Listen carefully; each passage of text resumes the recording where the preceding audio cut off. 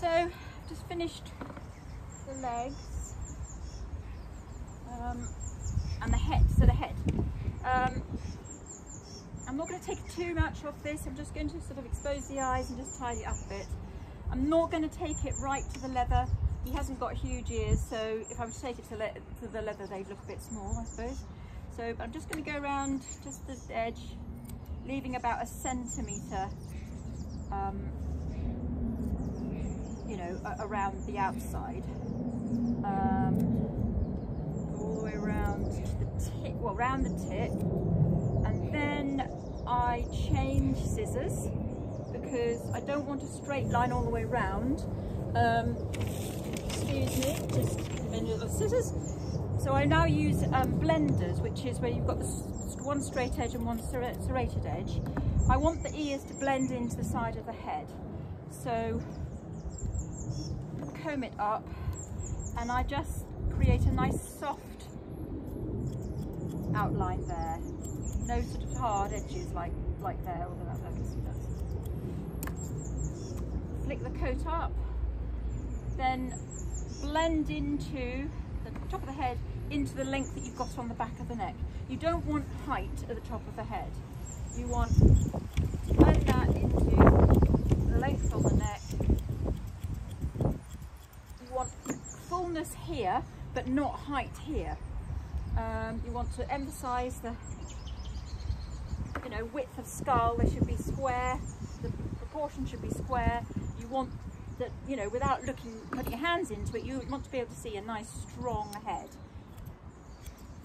So take it a little bit shorter on top and then just take the ends off here so it's nice and full. So with the ears what I tend to do is just flick the hair up on the ears. I want the hair on the ears to be same length as the top of the head.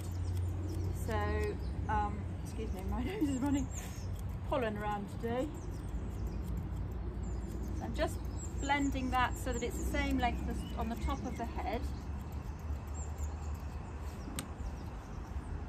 Tips of the ears and around the back of the ears, you can use use a clipper with a an extension, I've got the 10 on there and I've got an extension comb and I'm just going to take the edges, just take the ends off so it's not too thick at the ends. So it just all blends in like that. So the eyes, you want the, the eyes should be exposed. Even though they've got a full hair, head of hair on top of the head, you should be able to see the eyes when you show them. So I tend to push the hair back, just bring the the hair closest to the eye forward and trim it quite close. So literally that is quite close. Pull that forward again. And then with your your blenders, no, come on, sit. Just tidy it up. You want a nice stop there. Again, you want the skull to just be look really strong. So I create a nice stop there. I know not everybody does that, but that's just my way of doing it. Um, lift the ear, flick the coat out under the ear. Again, you want to, you want to, the same sort of length that's in the front of the, the, the skull all the way round to about this point and then you blend into the legs on the neck. Okay. The beard, comb it down, quite full under here and a bit, a bit thick and a bit, yeah. Obviously didn't comb that through enough. So I now, my guide for the outline of the of, of the of the muzzle is to use the outline of my ear as a guide. So all this here that you, is, I create, I follow that line around to the front. So this can all be trimmed back. You want a nice, neat outline like that that follows that round of the ear. You see what I mean? so that we don't have a thick wedge of hair on the muzzle, I flick it out and I just, I kind of layer it with these. I just take the ends off. Blend that all the way around so that you've got a sort of a, a gradient, you've got layers rather than thick wadge. Uh, you can pull this forward, pull it forward like that and take anything that's sticking out like that.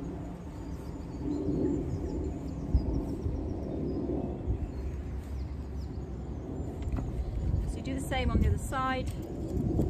But you want you want plenty of coat on the head, but but not over the eyes. See his eyes like that, can you see? His eyes are clear. Oh, we see it looks really fluffy at the moment. It needs a damn good drench. Keep pulling it forward, just checking it, particularly the eyes. But once this is drenched, it'll all curl up again and you won't look quite such a fluff, a fluff ball. Make it a nice round shape there. Round, round, round. Okay.